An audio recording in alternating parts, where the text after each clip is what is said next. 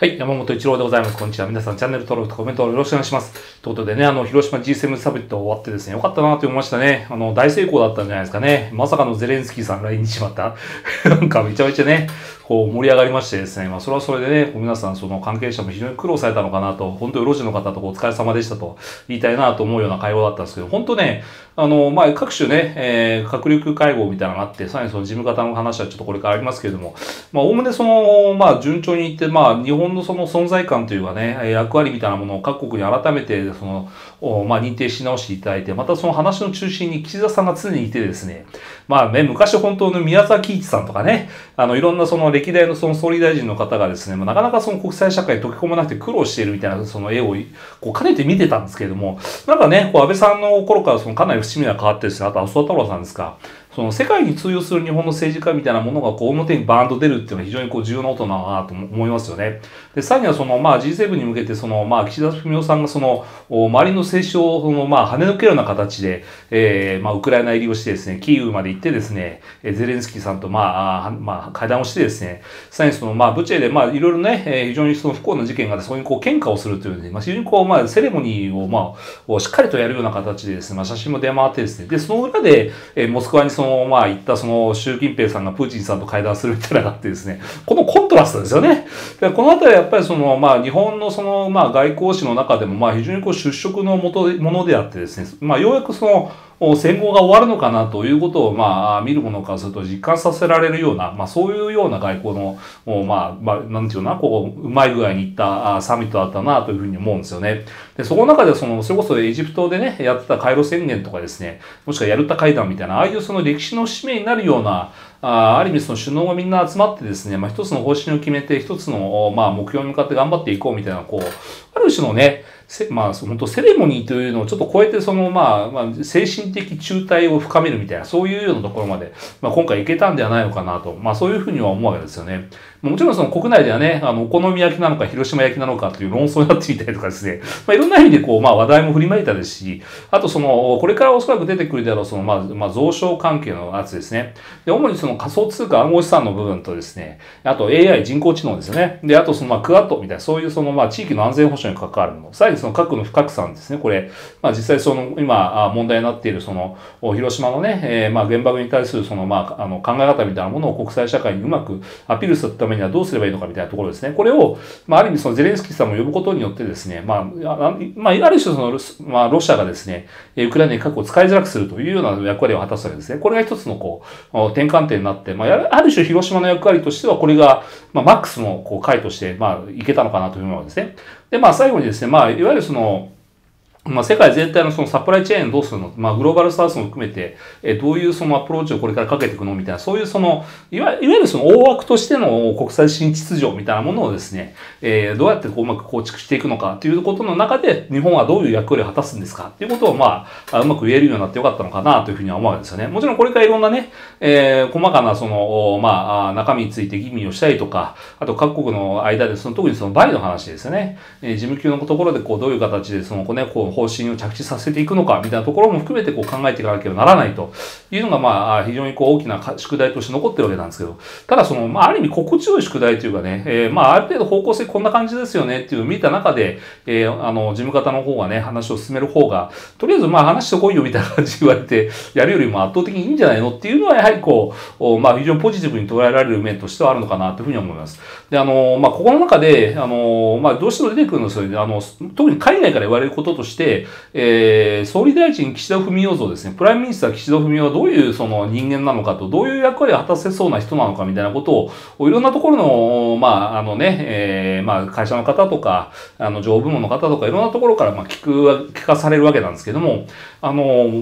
そもそも岸田さんってそんな人だったっけっていうのは結構僕らからすると、こうね、うんっていう部分はなくはないんですよ。で、どっちかっていうと、やっぱ私らなんかはその自民党のね、政調会長時代にその、まあ、岸田文雄さん来られて、まあ、なかなか話は進まない way 人物だなというふうに思ってたりもしてですね、もちろんいろんなことをね、えー、いろんな人の話を聞きながらバランスをとって前に進めようっていう気持ちがものすごく強い人である反面ですね、こだわってる部分がよくわかんないんですよね。で、岸田先生何にこだわってるんだろうっていうのは非常にこう、まあ、あの、周りにいる人間からすると、その、まあ、あの興味も持たれるところなんですけれども、ただ今回みたいにその、もう総理大臣ドーンと座っちゃって、で、そこの中でですね、まあ、あの、まあ、自分のやりたいことはこれなんやって言って、えー、お前らこれをそのしっかりで着地させられるようにやれみたいなことを言って、最初やっぱうまくね、歯車が合わなかった時間が長かったように思うんですよね。で、これ、一番最初に何なのかっていうふうに、まあみんなでこうね、自問自答しながら、その岸田文雄政権の、ある意味求心力の低下とは何なのかみたいなところになると、やはり岸田さんの、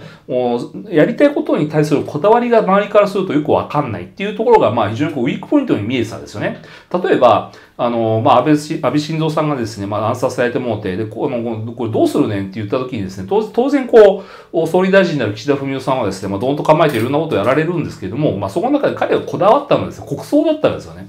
で、俺の目の黒いうちは、あの、安倍晋三さんがこういう形で亡くなられた以上は、その国葬やるのだって言って、まあ、非常に国葬をその、強行するわけですよ。で、周りからすると、その国葬であるべきか、国民葬でいいんじゃないのとか、もしくはそのね、なんか別の形でその、セレモニーをやる形でいいんじゃないみたいなことを、みんなこう想定してたんですけども、ただその、まあ、岸田さんからすると、その、まあ、あれだけのね、戦後最長の期間を総理大臣と務め上げた安倍晋三さんがその国葬ならないのはおかしいとか、強行するわけですよね。え、先生そここだわってたんですかって言っても実際やっちゃうわけですよね。でもや、やりきってみると、まあ、まあ、国葬でよかったんじゃないのみたいな話なるんですね。まあ、この辺のやっぱりこう、岸田さんの、まあ、なんていうのは、こう、推しの強さというか、その、こだわったものに関しては、あの、他の人の意見をその振り切ってでも前に進めようとする力、推進力ってあるんですよ。で、これがもう一個出たのはですね、まあ、あの、まあ、本当にこう、いろんなところでその悪口も抱えていろいろ大変だったと思いますけれども、おなかなかそのウクライナに訪問できなかった岸田文雄さんがですね、え外務省にもし俺がキキエフに入れないんだお前らいらねえとまで単価を切ってですね、あの、言っちゃうわけですよ。で、まあ、あの時もですね、ちょっとこう、やっぱり、あの、肝冷やしたのは、その官邸の情報がいろんなところになんか漏れて報道されたりするわけですよ。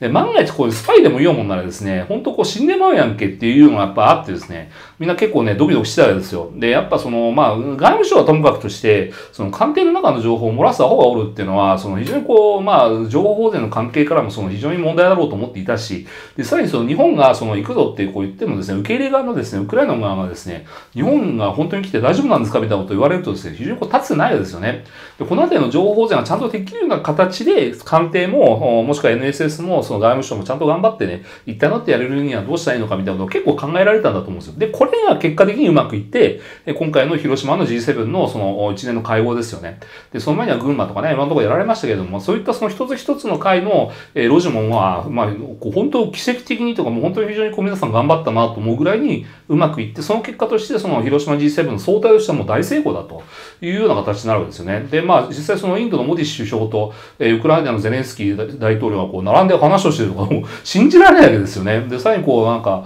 なんていうのかな、こう、こう、我々がするとちょっとそれは、あのね、こうい、いくらなんでも惑星直列すぎねえかみたいなことが、まあ今回起きたのでですね、まあ、非常にまあ、まあその点で言うと、まあ良かったなというふうに思うんですよね。まあそれは、はりこう、まあ本来だと僕らがウィークポイントだと思っていた岸田文雄さんのこだわりの強さっていうものが、今回は広島でこういうことを核廃絶に向けてこういうメッセージをその全ての首脳集めた時にやりたいんだっていうこだわりがうまく着地をしてですね、でそこがこう本当そのいろんなそのこう変わったピースがこうたくさんあるなと思ってたらこうパシッとはまってですね、えー、一つのそのまあセレモニカルなというかね、まあ、非常にこう、まあ、象徴的で印象的でまあ感動的ですらあるそのおあの G7 各首脳とその欧州議会の人たちがですね一斉にこうねこう喧嘩をする。あれはやっぱりね象徴としてはすごかったなというふうには思いますよね。あれがさらにこう、それを起点として次に何をするかっていう、そこが大事なんですね。まあ、ここはやはりこう、まあ、あの、ウクライナのその、もうこれからの戦局に関する問題もそうですし、あとその台湾問題はその、まあ、アジア限定される問題はないというその発言もそうですし、まあ、様々なものがこう、てんこ盛りになる中で、今回のその G7 というのはその全てのセッションが、おおむね、えー、当初の予定を上回る成果として出たのではないのかなというふうに思うわけですよね。まあ、そういった点で言うと、まあ、そのトランプ、オバマと、あとトランプ、バイデンときてですね、アメリカに対する信任がややこう下がっていく中で、まあ、そのアメリカの補佐役としての日本ですよね。あの、ある意味そのアメリカの変なおじいちゃん二人がね、こう大続きになったんで、まあ、次大丈夫なのかよみたいな思いながら言ってたら、そのまあ、それこそまあ、安倍さんはね、あれだけ頑張って、で、まあ、あの、菅義偉さん挟んで岸田さんに対する期待感ってここまで来てるんだっていうところがやっぱり今回の、まあ、非常にこう、まあ、あの、まあ、日本を無視できないっていうところにおいては意味あるのかなと。ただ、やはりその、各国首脳のそういう横並びで見ていくと、やはり岸田さんはその、あの、まあ、一枚上手っていうよりは、その、なんて言うんだろうな、こう、まあ、意外と良かったと思うんですよ。あの、本当に岸田さんで大丈夫なのかっていうと、やっぱりね、あの、ある種、まあ、顔がいいっていうかですね、あの、見栄えがするんですよ。で、あの、ここはやはりその、まあ、彼の非常にその、いいところだなと。思うわけですよね。あの、それを言っちゃいけないのかもしれないですけど、やっぱね、なんだかんだその、まあ見た目が重視される部分はあるのかなと。で、やっぱね、あの、胸張って岸田さんがね、こうビシッとして立ってるだけでですね、結構おっとなるわけですよね。やっぱあれはね、あの、まあ、ボン百の政治家でね、こうやろうというのもなかなか難しいのかなというふうに思うんですね。まあ、そこは非常にこう、まあ、時期を、まあ、あの、よくその、捉えたあ総理大臣が今日本にはいるのだなということで、まあ、支持率も戻っていって、これで解散するのしないのって話になるかと思うんですけども、で、あの、多分ね、すぐ解散はねえんじゃないのっていう気はします。まあ、これはもう本当ね、総理のお考え次第だというような、もう本当にね、あの、まあ、わしが解散するっちゃ解散するやってなっちゃうんですけど、どうもその解散をね、急げっていうような雰囲気の話はまだ出てない。まあ、まあ、昨日ね、G7 終わったばっかなんで、そのと言うはずないんだろうけれども、あんまりそこでこう、まあ、じゃあもうこれをあの手柄にね、すぐにその国民の死を問うために、その夏にでも解散するんやみたいな話にはちょっとなってないような気がするんですよね。まあ一応その、まあ、来月の、まあ、国会は20日ですか。えその前にその、何らかの形でそのね、党内でこういろんな話を揉むんだみたいな話あると思うんですけども、多分一回その、まあ NHK 世論調査を挟んで、まあ、それの数字を見て、まあ判断っていう話になると、まあおそらくその、まあ9月か9月の終わりぐらいにこう臨時国会前にですね、なんかやるのかな、なんてことをこう考えるのが、まあ一般的なところなのかというふうには思います。で、そこは、その、まあ、まだその、そうは言ってもまだ1年半しかね、岸田文雄政権は出てないですから、あの、その出てない結論の中で、え国民の死を取ると言っても何をやるねんっていう話になるし、まあ、その中で言うと、その、いわゆる全年齢、全、全世代型社会保障へのその信任をどうするのか。で、ここにはやっぱ社会保険料のえ積み増しと同時に、それならのその費用を高齢者向け福祉ではなくて、子育てのに回すんやというような形で、えどういった形でその新しい資本主義みたいなものをその国民にあのきちんと説明していくのかというその国内問題の方にこれからその岸田文雄政権はそのシフトをしていくということでですね、え、もう対外的なところに関してはそのおおむね、え、今の岸田政権でできることはほぼ全てやってですね、えー、まあ AI のところとかね、あとそのまあ一部経済安全保障的なところに関してはもう少し積み残しがあるにしてもですね、対外的なところはかなりうまくいったと思うんですよ。あとはその国内問題ですね、まあ、治安であったりとか、もしくは移民問題であったりとか、その少子化対策であったりとか、もしくはその国内の雇用ですよね、雇用とかその、まあ、あの給与ですよね、この辺の引き上げみたいなものを、どういう形でその岸田文雄政権がうまく制御していってやっていくのか、その中で、えー、まあ東京でもその30選挙区に増えていく中でですね、まあ、神奈川も2つ選挙区増える中でですね、公明党さんとの間でのその、まあ、ある意味その議席どこまでね、えー、残していくのかみたいなので、どうも議論があるようでですね、で、まあ、調査型にもね、こうなんかね、夫婦お前どう思ってんのみたいな話はどうも来てるらしいですけど、ちょっとね、一時そのメール読んじゃうとね、回答しなきゃいけないめんどくさいんでね、あんまその読んでないような感じに今ちょっと放置してるんですけども、あの、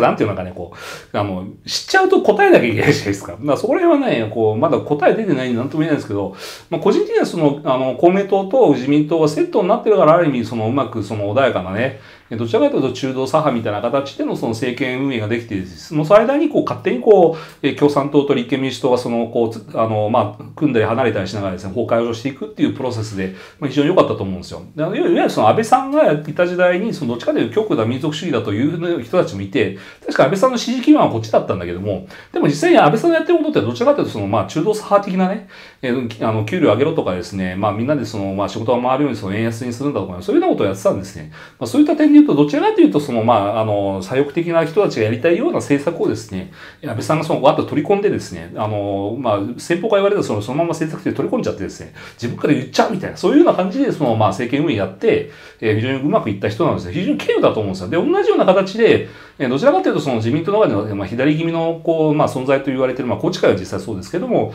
え、岸田文雄さんがそのやっている政策に関しても、どちらかというと左なのでですね、まあ、その点で言うと、その、右の維新が自民党批判しながら伸びてくると、これ当然のことで、まあ、そこら辺の、あの、まあ、駆け引きみたいなものをこれからどういった形でその岸田さん考えて、えどのタイミングでその解散という、まあ、カードを切って本格政権していくのかと。いうところが非常にこれからその、まあ、まあ、注目されていくところなのかなというふうには、個人的には思うんですけどね、どうですかね。まあ、そこら辺、今回のサミットの成功を岸田さんがどこまで自分のね、えー、力量だ、実力だと思って、えー、次のね、一歩を踏み出そうとするのかによって全てが決まっていくのかなと思うので、ぜひそのあたりの話を見ていっていただければいいかなと思いますね。はい。